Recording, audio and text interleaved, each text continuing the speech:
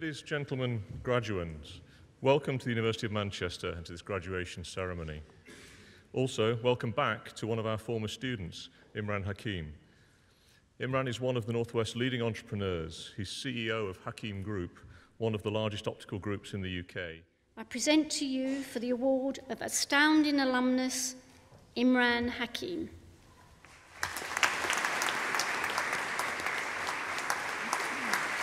Vice President and Dean, ladies and gentlemen, and graduates. I'm delighted to be here and honoured to receive this award. You'll be pleased to know that I will take my mother's advice and I'll keep this very brief. At breakfast this morning, she said, Son, don't talk for too long because they'll figure out that you're not really all that smart. So, as each of you look to write the next chapter of your own stories, I would like to share three lessons briefly, which I know will leave you better equipped to deal with the future. My first message is a recollection from my first experience of work, which was at McDonald's in Bolton. And I remember at 16, my manager took me aside on the first day and he said, Son, if you work really hard at flipping burgers, one day you can have my job. After three days, he sacked me. And he said, You're a kid from Bolton. If you think you know about business, you're dreaming.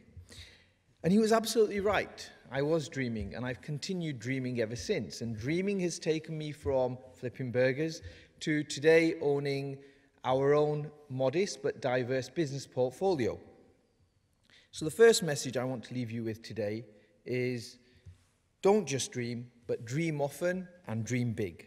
The second message I want to leave you, leave you with today would be to believe in yourself. Uh, as uh, you heard, that I started an IT company uh, shortly before coming to university. And I remember when I started that company, I used to have a little frame on the wall. And it used to read, If you think you are beaten, you are.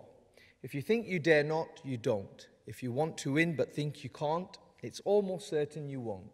If you think you lose, you're lost. For out in the world we find success begins with a fellow's will. It's all in the state of mind.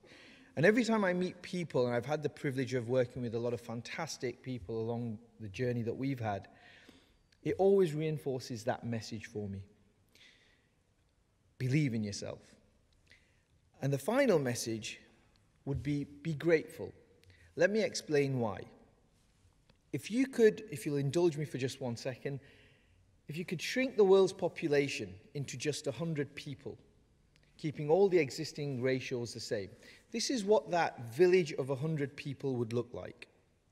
You would have 57 Asians, 21 Europeans, 14 from the Western Hemisphere, both North and South.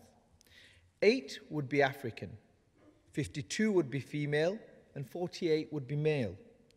70 would be non white, and 30 would be white.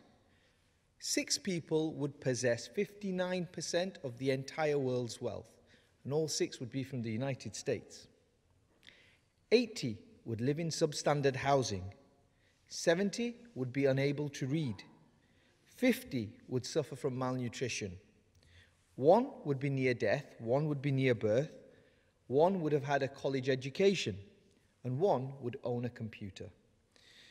And therefore, if you extrapolate that, if you woke up this morning with more health than illness, if you have food in your refrigerator, clothes on your back, and a roof over your head, somewhere to sleep tonight, you are richer than 75% of this world.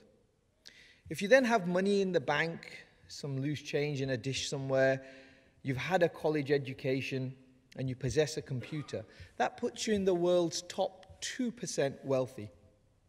And when you look at your opportunity from that point of view, we have so much to be grateful for. To all you graduates, all the best for the future.